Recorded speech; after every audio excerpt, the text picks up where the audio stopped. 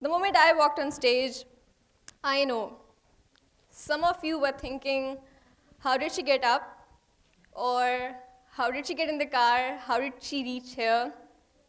How dare she's without an attendant? Yes, some aunties have been giving me that fright. And uh, so on. How does she cope with her physical condition or her daily life? It goes on and on and on. But it would take you a little while to reach the idea that she might not be that dependent. She might be able to manage most of these things herself.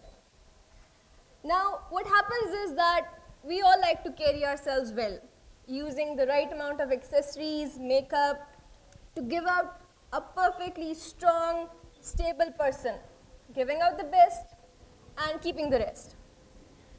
Only I had been giving out too much.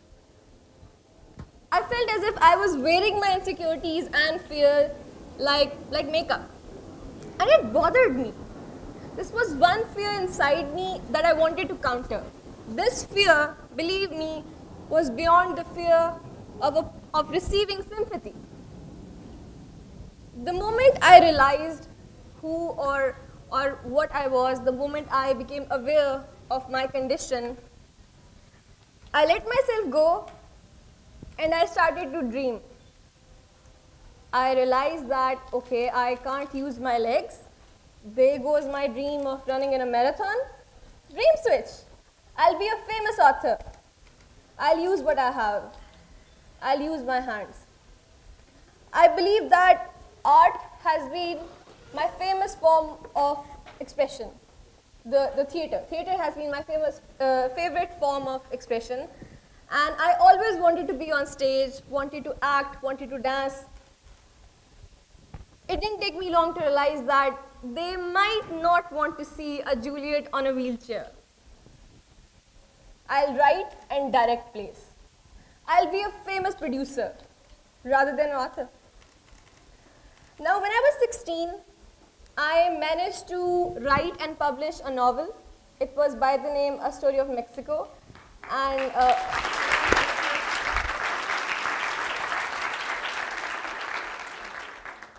it was by the name A Story of Mexico. And people, uh, they've always questioned me, why Mexico? And trust me, I've always managed to cook up stories and link them to Mexico. But today, I'll break the truth, and the truth was Antonio Banderas. yes, um, Antonio Banderas can make a 16-year-old girl write a book about him. Zorro was on my mind all that time. Another achievement uh, towards the publication was that my family didn't know until the book was out. So it turned out to be a pleasant surprise for them. Now, once the book was in market, we had the earthquake crisis. And I decided to sell the book and, and raise funds for the earthquake victims. And then later, the same book got sold for the flood victims.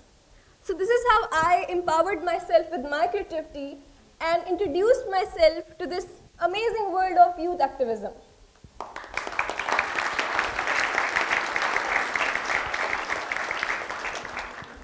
Now, during school, if I recall, um, I was often punished for selling donation tickets for different NGOs. For me, it was, yes, I'm making a change. For them, it was the girl on the wheelchair is getting hyper, somebody stop her. So, but, but, in, but in my college, I managed to become the president of the Environment Society. And that was quite a jump. Thinking of college, it reminds me that um, during that time, there was this thing around college that I wasn't allowed to take part in any activity other than the school activity because uh, the faculty feared that I might face some physical obstacle and um, okay, they had their own fears while I had my own. Somebody was killing the spirit inside me. So I decided to go forward and break the line. So I signed up for this environmental moot, um, which was taking place at an institution where the auditorium was three story high. Without my faculty knowing, I went there. For three days, I went up and down, attending all sessions, giving presentations, and while I was walking back, I had the Best Speakers Award.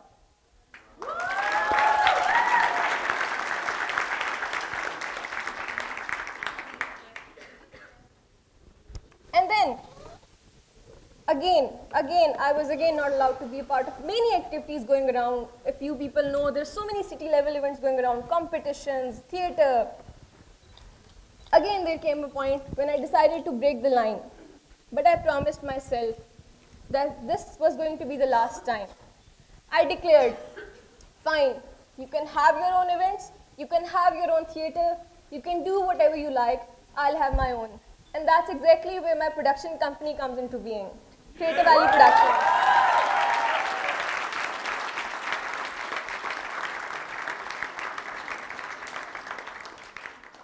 Creative Alley was not just for me. It was for all those people out there who were suppressed for a number of reasons. I used to actually walk out and tell somebody, okay, you were rejected because you were dumb. I was rejected too. Huh. So Creative Alley is a platform for everyone and anyone out there who has the talent, who has the skill, but who didn't get a chance. Now, if I look back, I believe that I was doing um, a bit of everything.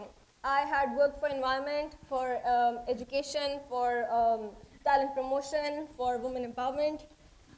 But there was one thing that I was missing out, disability rights. And it took me quite a while to realize that my cause, my passion, my subject was inside me, was with me all this time, and it took me so long to get there. This was the reason why I was created. But until now, when on 3rd December, we have launched a movement by the name the RAMP movement, where we are pressing the government of Pakistan to please pass a bill that states accessibility in all government buildings.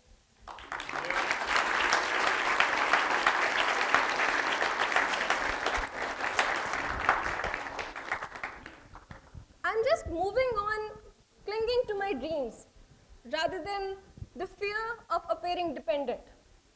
Today, I'm standing here as someone with interests and accomplishments, beautifully countering the, the impression of what a person on a wheelchair would give you.